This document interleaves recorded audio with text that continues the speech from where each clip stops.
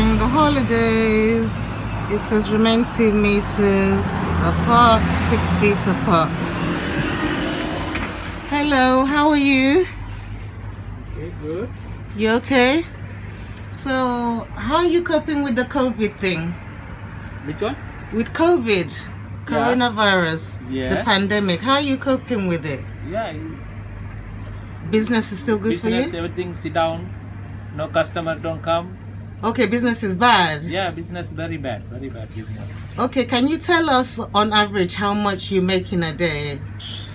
I don't know. My bo- my boss is he crying, you know. You know that no. your boss is crying? Yeah, Oh, nothing busy. it's a problem if your boss is crying. Too quiet. Night is very very very quiet one. You know. No Okay. Busy, yeah.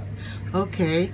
Um, is there anything that you'd actually like to tell the people back home or anything you'd like to share with the world? Anything at all, don't worry. Yeah, customer you don't come. Customer, you know the now very fast in the coronavirus. Mm-hmm. Fast. It's. It's affecting your business and you don't make as much as usual. Okay, one last thing before I leave. Just tell me something positive. One positive thing you can say, and then me gone.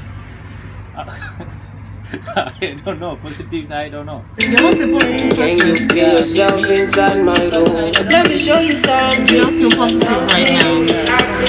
So you don't have anything Let me show you positive. something. That's very.